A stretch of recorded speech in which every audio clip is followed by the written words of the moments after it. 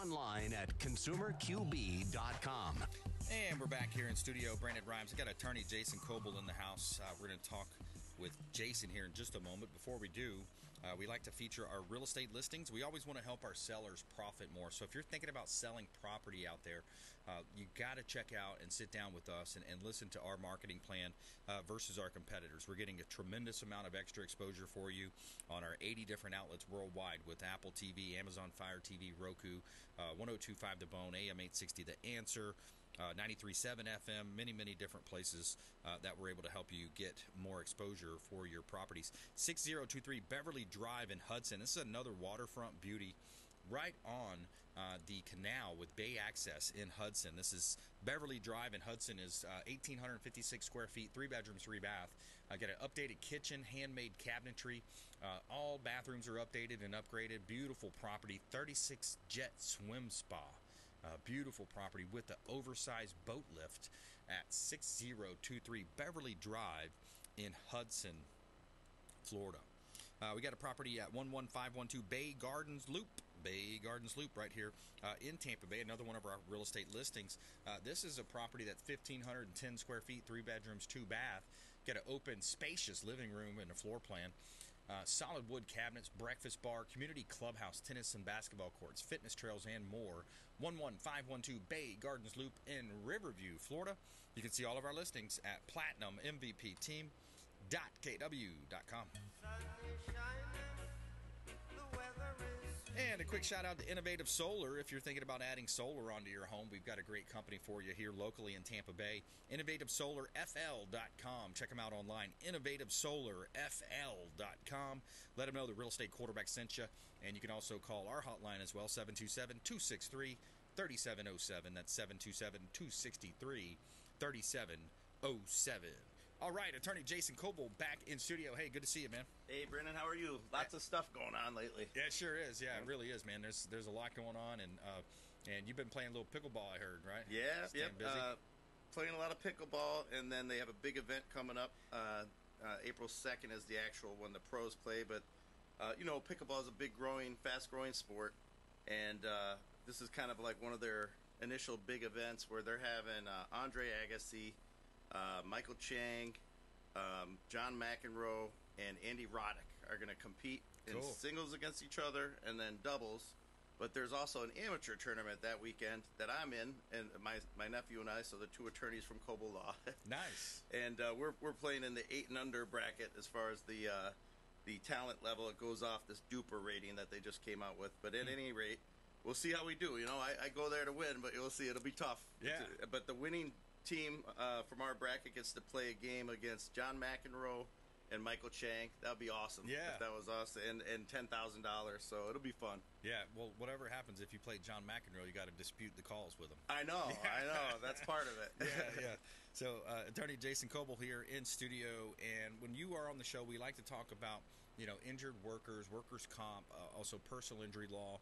Um, tell us a little bit about what you're up to in that in that area. There's well, there's been I don't know uh, if if you've heard yet or not because it went by went through the legislature in lightning speed, but um, there's major changes now to our our uh, car accident law here in Florida. Hmm. Huge. Uh, PIP is gone, uh, effective last uh, Friday when the governor signed the new law. So no more uh, personal injury protection. Um, Wow. yeah, that, that used to be mandatory, but now it's gone. But every policy, at a minimum now, you have to have at least twenty-five thousand dollars, twenty-five fifty bodily injury. So there's pros and cons. There's a lot of cons. I'll be. I'll have to admit. I mean, this was definitely good for insurance companies. Bad for uh, the attorneys of people get hurt in, in car accidents, but it, it is. You know, we have to deal with it now because it's the law. So minimum BI. Uh, what they also did is they lowered the statute of limitations. You used to have four years. Uh, now it's two, Wow. cut in half. Very. That's going to save a lot of money. As far as going back and saying, "Oh, I was hurt in that accident," Well, you know, you have two years from the date of the accident to file suit. Now, once you file suit, it takes a little while to get to trial, but you can't wait longer than two years, or else it'll be too late. And it Got used to be four. And then they also uh, made suing an insurance company for bad faith a lot more difficult. And that's like a situation where, say, the policy is ten thousand, and the case is obviously ten thousand, and you give them enough evidence to show them that it should be, they should just tender it, and then they don't you used to be able to nail them for bad faith. Uh, now it's a little a little more difficult. So that's going to change the way things are done. So so major changes. If you do get hurt uh, in a car accident, give our office a call because uh, you know we would definitely want to analyze the case, explain which of the new laws are in effect in that case versus some of the old ones remain, but very few. Most of it is completely changed. So you definitely want to talk to an attorney who specializes in that, like my office. Yeah, absolutely. And, and uh, you know, Jason has been a longtime friend of our show. Uh, many many years now, and you know, supporting the local economy is one of the things we always talk about here on the Consumer Quarterback Show. Supporting the good guys here uh, in Tampa Bay. Uh, Jason, I want to get to uh, this this Trump uh, continued witch hunt. Um, this this prosecu- uh, prosecutorial misconduct by uh, Fat Albert Bragg. I got a quick clip I'm going to play here. Former President Donald Trump held his first rally of his 2024 campaign in Waco, Texas this past weekend. This comes as the former president is facing a potential indictment for a hush money payment he allegedly made to adult film actress Stormy Daniels. The former president made the following remarks about the case. Prosecutorial misconduct is their new tool, and they are willing to use it at levels never seen before in our country. We've had it, but we've never had it like this. The grand So yeah, Yep, he's right. Um, it's actually disgusting, and and ever since 2015, when he announced it's been happening, we all know about the uh, Mueller probe, and, and people don't even realize with that investigation, uh, General Flynn's case was d- completely thrown out because of prosecutorial prosecutorial misconduct. They did not divulge exculpatory evidence. That's Right. you have to do that at the time when you charge someone, and that's a constitutional right. same thing with. J6 too. Yeah. Oh, yeah. Same exact thing. In fact, it was just this two couple weeks ago. There was a uh, trial. There, there was a member of uh, that group, Proud Boys. Proud Boys, and uh, the defense attorney was getting ready to call one of the witnesses for the, for the, his uh, client, and then only at that moment did the prosecution divulge, "Hey, wait a minute, that's an undercover FBI agent." Wow. unbelievable. That now, granted, they like to protect you know the identity of those undercover agents, but at the same time, we have very strict laws on when when you arrest somebody. If that if that undercover agent is relevant at all to his case, you have to divulge that then because that's exculpatory evidence. Right. That poor attorney, he he planned out his whole defense thinking that that witness was on his side when in fact it was undercover for the FBI. Wow. And they did not tell him at any point during the proceedings until the day that person was supposed to testify. Wow. That's disgusting. that is bad. You look at the, the Trump case with the uh, uh, prosecutor Bragg there, he is a state prosecutor. The state law, the statute already ran. So he doesn't even have an option to do that. His only option now, he's bringing federal charges. But guess what? The federal prosecutors already looked at it and said there's no case there. Yeah, exactly. So it, it is just disgusting. Um, I don't. I think if he arrests him and they actually go forward with it, it'll be backfire because I don't think they have any chance of winning that case. They're, they're they are relying on Michael Cohen Right. as as the star witness, and he's a convicted felon, Yep. and and for lying to Congress. So that's not a, a, a witness normally a prosecutor would rely on. It's Yeah. very disturbing, and uh, yeah, like you mentioned about the January 6th proceedings, all the FBI undercover informants, Yep. and then uh, even the even the Georgia case, they just recently uh, a judge on her last day ruled that the attorney-client privilege could be breached, and now this uh, Trump's attorney had to testify, and, what he wasn't allowed to assert attorney-client privilege. That's major. You, you don't do that to just anybody, especially a former president. Wow. So if these cases actually, if they actually go forward with them, I think every one of them will lose. Time will tell because I think they're all political, and that's Yeah. scary. That shouldn't happen in America. Yeah, exactly. I mean, it's just this is like literally you keep hearing that banana sandwich or Banana Republic. and ham sandwich. You know the you know can indict a ham sandwich like it, these these different puns or, or you know that you hear, but it's ridiculous. Well, you know what's true about the ham sandwich. What that one is is about when you have a grand jury proceeding, like they do Yeah. in Manhattan. They always say, "Well, you could get uh, you could uh, get an indictment for a ham sandwich Yeah. for, a grand jury because what that the way they set up is." Bragg produces all these witnesses, whatever he wants, Right. you know, and then he gets to basically tell his story, and, and without another attorney, Yeah. uh, doing it for Trump. So they're seeing a one-way, one-sided uh, interpretation of the facts, Right. And so usually it's easy, and you don't have to get a majority of the grand jury, Right. So it is very easy. And guess what? Apparently, they haven't been able to get the grand jury's votes because they haven't done it. They haven't indicted them yet. Right. So the the whole point is, if you can't even do that, how are you going to prove beyond a reasonable doubt and Yeah. actually win? So Yeah. They, yeah, that'll be a huge mistake if they indict him for that. Man, it's interesting. It, it really is. It's interesting, and it's but it's all it's all just so disgusting on the same token, man. Just to hear, just to keep having this happen, and just to think about all the government money that's wasted. You know, we talk about an open border, we talk about drugs killing kids. Like, what if we real? What if our government really focused on trying to make this the best country, which we are the best country. Don't get Yeah. me wrong. I'm not going to bash our own country like the left does, but just think about all the money wasted and time spent and, and propaganda and you know th- with, with the you know the left and the right in terms of the the RINOs. You know, like this money could have been put to a lot better use. Hundreds of millions of dollars with the with the Clinton, you know, fake uh, dossier and all that stuff. It's actually it's hard. I don't even think it's possible to actually put a number on it because there's been so many bogus political probes that ended up worthless. Yeah. And and and you look at the big ones like the, the Trump Russia was uh, practically three years, and all of our our congressmen and women were involved, and you know Yep. the impeachment baloney uh, proceedings that didn't pan out. Yep. You know he wasn't convicted in either one. That's a lot of time that those our our most important people in our country have put into worthless proceedings. Yes. I, I mean, it was it would be in the trillions. Honestly, would God. be. Yeah, It's- it's- exactly. It's, and so yeah, that's We're- a great point. We're talking with attorney Jason Kobal here on the Consumer Quarterback Show. Jason Kobal, owner of Kobal Law, and I'm your host Brandon Rimes. And you know, Jason, on- on that note, uh, you know, the the uh, over this past weekend, I had a conversation with some people, and you know, nice enough people in town for a wedding, and I, I was talking to them about the, you know, they, they started, we kind of kind of got onto that that line of uh, politics, and it, and it talked about the big lie, and they, you know, they were of the opinion that it was a big lie, and I said, no, the big lie was actually, have you seen Two Thousand Mules? Have you seen that movie yet? And they say, oh no, you can make any movie, say anything, and I said, okay, well, look, that's the difference then we look at the facts. We want to see all the information. And I went through the whole talk about cell phone pings and if you ping off a tower and then you've got proof that the person was there. Like, uh, but but some people they have their mind made up. Yeah, and, and but- you just can't convince them. Right. And then to, to admit that you don't even have all the facts, but I still have that same mindset. Bingo. And you know, I think one of the biggest red flags was right after the election in 2020. Literally, two days later, they came up with the entire mainstream media, multiple different outlets, all saying, using the phrase "the big lie." Right. And at that time, I'm like, how could you possibly know if it's a big lie? It's only two days. I mean, we haven't even looked into anything yet. exactly. But but what what I like to do is I, I you know I feel that there was a lot of uh, interference, but there's Yep. two undeniable, and and no one could deny these because there's a, a guilty plea.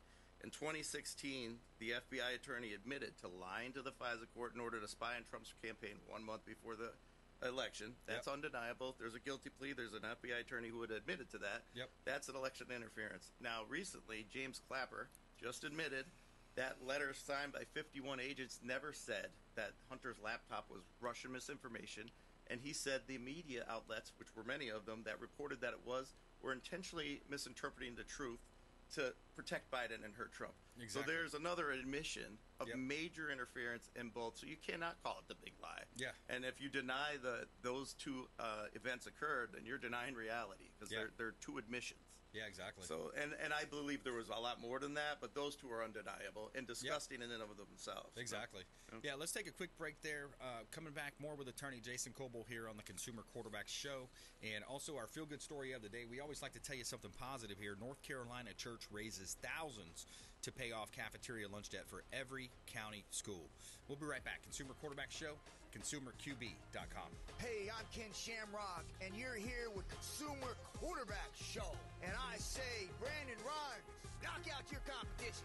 All right, welcome back. Brandon Rimes here in studio with attorney Jason Kobal, uh, Kobal Law. We're going to talk about his CNN defamation case that he's got going on as well, uh, coming up here in just a moment. Uh, before we do, a couple of hot listings here from the real estate team. 10415 Main Street in Thonotosassa. This is a corner acre, uh, corner lot, five acre parcel of land on Main Street in Thonotosassa. This one's a great opportunity. It's commercial property uh, right on a main corner uh, and you can build and develop right on this lot. You've got five acres, zone commercial, Main Street, Thonotosassa, hot listing here in Tampa Bay, and Let's look at this other property here. I've got a property at 1641 El Terre Trail in Clearwater. Uh, beautiful Pinellas County. El Terre Trail in Clearwater is another one of our hot listings from the Platinum MVP team. Uh, you got 25, 55 square feet, four bedrooms, three bath, completely updated. And you got new quartz countertops, open floor plan, vaulted ceilings right here in Clearwater, Florida. 1641 El Terre Trail, Pinellas County. And you can see all of our listings at PlatinumMVPTeam.kw.com. Buy dirt,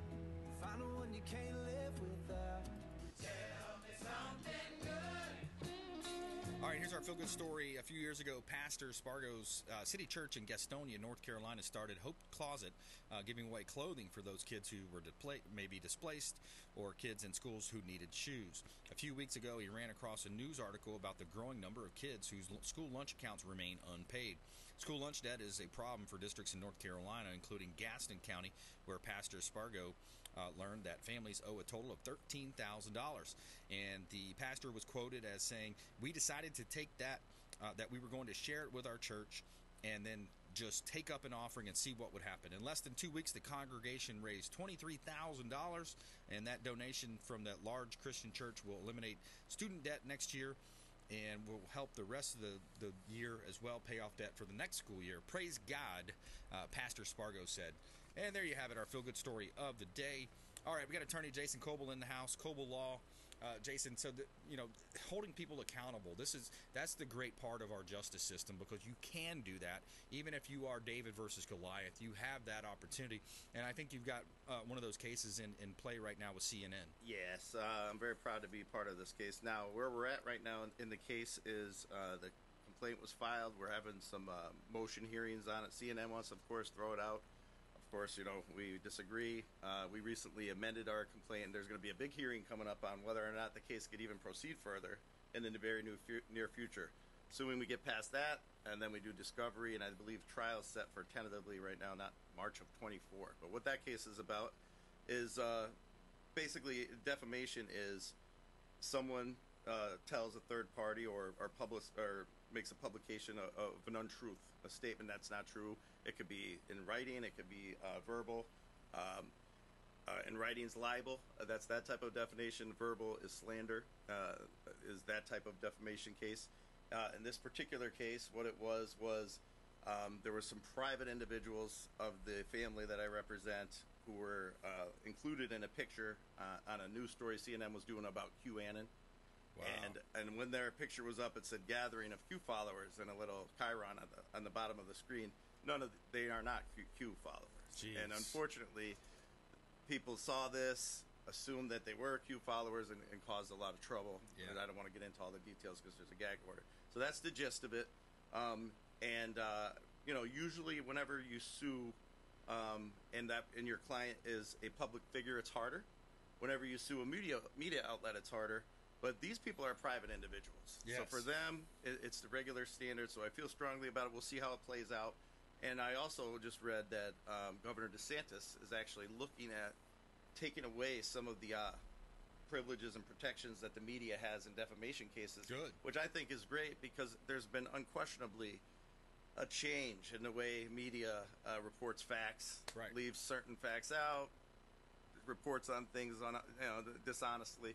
Yeah. So uh, it's that you know what my mother always told me is if you ever find yourself fortunate enough to be in a position of power, don't abuse it or you're going to lose it. Right. So I, I feel that that's actually a good thing. That uh, you know they deserve to have some of those protections taken away, given the way they, Yeah. they've conducted themselves the last six years or Yeah. so. Absolutely, and the same thing with the pharmaceutical companies. I mean, they put forth these drugs, and they they they know in, in, in their clinical trials. You know, all this is coming out, right? Uh, and and thanks for guys like. Um, uh, Project Veritas, and, and you know, because they, they actually kicked him out of his own company, started a new one. I heard a great uh, James O'Keefe interview the other day. Uh, but yeah, you know, pharma, big pharma, you know, all the money behind them, and then but but yeah, they can put these drugs out, and if you happen to get harmed, you can't sue them. Yeah, yeah, it's a shame. And then I know I just saw a great show with Michael Keaton on it. On uh, I can't think of what network it was about um, OxyContin. Yep. How they literally they got approved years ago based on a lie that it was non-addictive. Right. I mean, but, but if you have enough money and power in this country, unfortunately, you're able to take advantage of it. That's what I, I think. And all Yeah. these big media outlets, the big pharmaceutical companies, they're all abusing their power. That's true.